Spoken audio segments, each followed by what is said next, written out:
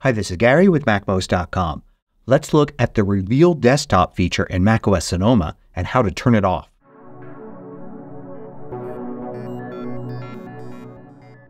MacMost is brought to you thanks to a great group of more than a thousand supporters. Go to MacMost.com slash Patreon. There you could read more about it, join us, and get exclusive content and course discounts. Now, after upgrading to macOS Sonoma, you may have noticed that something happens on your Mac that's different than before. Say you're working on your Mac and you've got several windows open here. And you can see the desktop behind it. And let's say you happen to click on the desktop. If you do that, you'll get something that looks like this. Notice how the windows retreat to the edges of the screen. And you just get the desktop wallpaper and you could see any desktop icons that are there. Plus you get this gray box that surrounds the screen like this. This is the Reveal Desktop feature and it's actually not new to macOS Sonoma.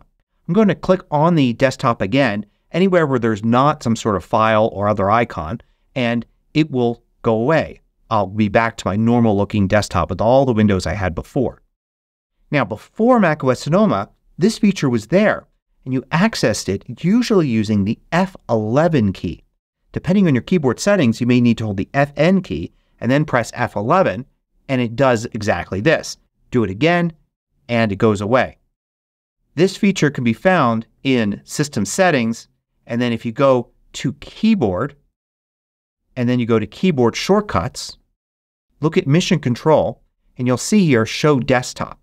So this is where you may have it switched off if F11 isn't working for you or maybe you've changed it from F11. In addition to that, if you go to Function Keys here, then you've got this switch. If the switch is off, then you need to use the Fn or globe key plus F11 to do this. Or if it's on, the F11 key will just work by itself. You don't need to hold down another key. Now, all this was here previous to macOS Sonoma. What's new is that if you now click on the desktop wallpaper, it does the same thing. Now this can be a little annoying for a few reasons. First of all, you may accidentally click on the desktop wallpaper and then suddenly everything goes away. Or you may actually click on the desktop wallpaper specifically to bring the Finder to the front. Like if I'm here using system settings and say I want to start searching for a file, I can switch to the Finder using say the Finder icon here in the dock or the app switcher. But you can also click on the desktop and that brings the Finder to the front. But it's also made all of the windows go away which may not be what you want. What's worse is if you actually have no windows anywhere and if you click on the desktop background you can see it really doesn't do anything except bring up this gray box here. I already had full access to the desktop. So clicking on it reveals the desktop which was already very accessible. So it can be confusing as to why you're suddenly getting this box around your screen. Now to turn this off, all you need to do is go into System Settings and then go to Desktop and Dock. And then scroll down to the Desktop and Stage Manager section.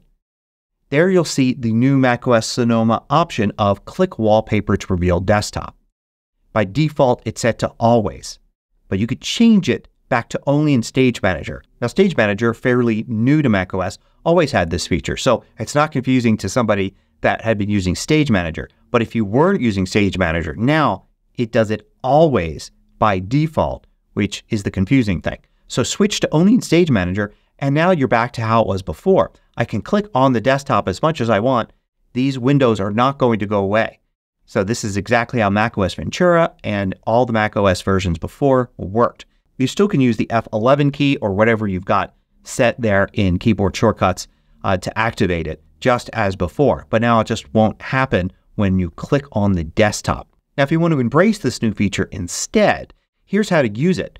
See how I've got this calculator window here and it's over these icons? so I can't easily access them.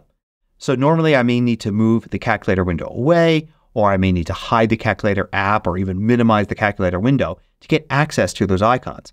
But now I can simply click on the desktop background, everything moves away, and now I can access one of these. I can double click it and it will open up that file. The same thing of course is possible and was possible before using F11 and I could do that and get access to them temporarily like that. I could even drag and drop using this feature. So instead of moving the calculator window out of the way, if I wanted to drag one of these files into one of these folders here, I could use F11 or say click on the desktop background. It moves everything out of the way. I start dragging and while I'm still dragging I use F11 again to dismiss it and now I can drag this into a folder. So you can decide whether or not you want to embrace this feature and use clicking on the desktop background as a way to get access to the files on the desktop. Or you could decide to turn it off there in System Settings and just use F11 if you ever need it.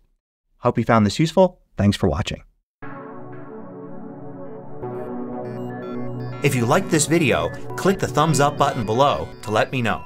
I publish new tutorials each weekday. Hit the subscribe button so you don't miss out.